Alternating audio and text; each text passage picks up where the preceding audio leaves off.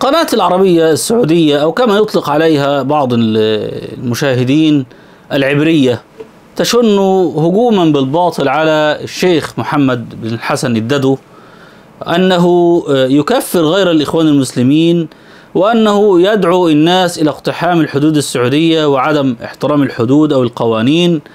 هل هذا الكلام فعلا يصح أم هو افتراء كالعادة من هذه القناة التي دأبت على محاربة كل رمز إسلامي أو محاربة كل من لا ينعق للسلطة التي تمثلها هذا ما نتحدث عنه بمشيئة الله تعالى.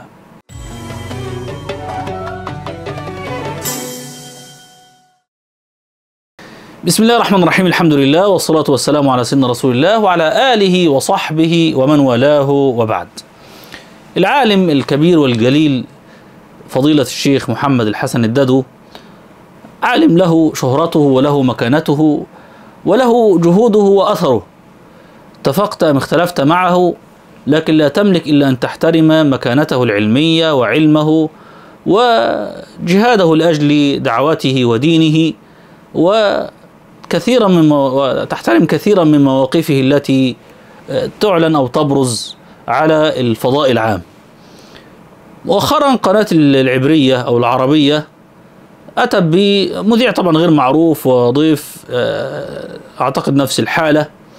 في الآونة الأخيرة طبعا قناة العربية يعني متبنية عدة برامج لا هدف من ورائها إلا الطعن في الإخوان بأناس ليست لهم أي قيمة علمية أو تاريخية أو مواقف حقيقية إنما الافتراء على الإخوان. من ضمن الافتراء الطعن في رموز أهل العلم الذين ينتسبون لهذه المدرسة الدعوية الكبرى مدرسة الإخوان المسلمين. من هؤلاء مؤخرا الشيخ الددو واتهمته بأنه يكفر غير الإخوان وأنه يحرض على اقتحام الحدود السعودية وأنه وأنه. طيب أولا الشيخ الددو لا يحتاج ولن يفرق معه كثيرا مثل هذه الترهات من قناة مشبوهة آه سواء من تاريخا أو واقعا وقناة معروفة في كثير من مواقفها أنها ضد أهل النضال ويعني تميل للتطبيع مع الحكام الظلمة مع الصهاينة مع غيرهم فأصبحت مفضوحة لدى الناس. لكن اتهام الرجل بأنه يكفر هذا كلام فارغ. الشيخ الددو من يسمع له ومن يشاهده في خطبه في برامجه الحية في برامجه على اليوتيوب سيجد الرجل ممتلئ علميا. علم التراث له اطلاع واسع به سواء على مستوى الأدب والشعر والقريحة التي تجود ويقول الشعر وكذلك يعني يقرض الشعر ويحفظ كثيرا من شعر العرب. فهو كشأن كثير من الموريتانيين في مسألة الحافظة لكن يمتاز بالزيادة أن حافظته متنوعة. ليست فقط عند الشعر والأدب إنما الشعر والأدب يعني بإسهاب حضور الذهن وسرعة البديهة في التقاط ما يختزم من حفظ في المجال والسياق الذي يتحدث فيه. في السياق الفقهي لا يقف به حدود العلم عند الفقه المالكي الذي هو مذهب أهل المغرب العربي المغرب بتاريخه المعروف اللي هو دول المغرب العربي اللي منها موريتانيا. لا أقصد بذلك الكلام الجغرافي والسياسي الذي يثير المشاكل لما أتكلم على الشمال الإفريقي بوجه عام. اللي هو مذهبهم المالكي. لا الاطلاع الواسع كذلك عند الحنابلة والأحناف والشافعية بنفس الدرجة في الاطلاع على الفقه المالكي.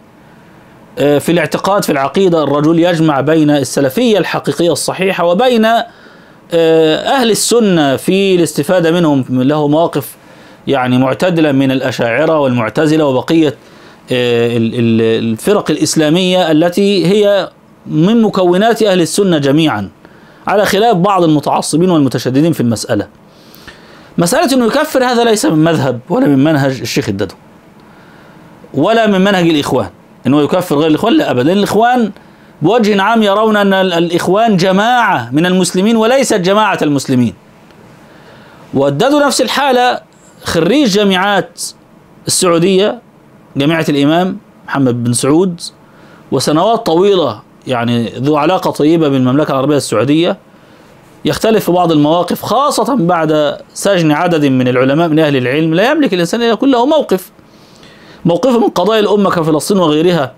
موقف واضح يثير عليه حفيظة الحكام الظلم والمستبدين وأعوانهم آه ودلاديلهم يعني. قضية ان هو يحرض الحدود السعودية هذا كلام فارغ. فتواه في قضية إن الإنسان من ذهب بفيزا زيارة يجوز أن يتخلف للحج هو أخذها من باب رأي شرعي ولم يأخذها من باب رأي سياسي. ليس نكاية في السعودية بل فتوى للناس إني من استطاع إليه سبيلا ليس من هذا. وإن كنا نخالف في هذه الفتوى لكن ليست فتوى مسيسة وليست مؤدلجة إنما هي فتوى فقهية بناها على رأي فقهي لديه. ولم يقل لأحد يقتحم الحدود بل أصلا يقول إن من دخل إلى السعودية بفيزا يعني داخل من المطار. لم يقل للناس والله اقتحموا الحدود وادخلوا لا إنما دخل الناس عن طريق مطار مطارات السعودية بفيزا رسمية فقال من جلس ليبقى ليس من شروط الحج الإذن بالحج. رأيه يعني لا لا يستطيع أحد أن يزايد عليه في هذا الرأي. خلاصة القول ما تزعمه قناة العبرية أو العربية كما تعلن عن اسمها إنما هي الحقيقة عبرية في التوجه كما يسميها الناس. عن الشيخ الدادو أنه هو يكفر غير الإخوان ويحرض على اقتحام الحدود السعودية كلام باطل وفارغ يتعارض مع تاريخ الرجل المعروف للجميع. الرجل لم يثبت عنه أبدا كعالم وعلامة أنه كفر أحدا من أهل القبلة. أو كفر أحدا آه لم آه أتى بشيء ليس فيه تأويل. بالعكس بل هو يتحفظ جدا جدا في هذا الأمر على خطى منهج أهل السنة والجماعة. آه وليس لديه التعصب للإخوان ولا يعرف أحد يعني ولا لا يصر ولا يحرص على رفع اللافتة. وهذا يحمد له الحقيقة يعني. يحرص على لافتة الإسلام الكبرى وإن الإخوان كأي وسيلة هي وسيلة لخدمة الإسلام وليست هدفا ولا غاية في حد ذاتها. تحريض على الحدود هذا كذب. ولو فتوى فقط أفتى الناس الذين حصلوا على فيزا زيارة للسعودية أن يتخلف إلى الحج ليحج لأن حالة الناس صعبة ولأن المملكة مفتوحة للترفيه ومفتوحة لأهل الباطل فأولى أن تفتح لأهل الحق.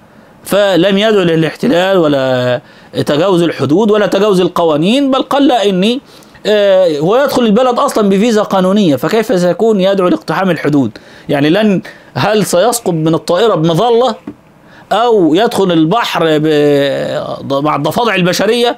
لا لم يقل ذلك ابدا الشيخ الدادو إنما تحدث عن قضية الاستطاعة. هل من استطاع إليه سبيلا تنطبق على الفيزا الإذن بالحج؟ أم من استطاع أن يصل إلى الحج فقد وصل؟ رأي فقهي آه قد لا نتفق معه فيه لكن لا نملك أن نتهمه به بأنه يحرض أو أنه يدعو إلى اقتحام حدود أو أنه يكفر غير الإخوان. طبعا هذا كلام فارغ. شيخ الدادو الحقيقة قامه وقيمة لكل من يعرفه حتى لو اختلف معه لا يملك إلا أن يحترمه وأن يقدر علمه وجهاده ونضاله وعطاءه.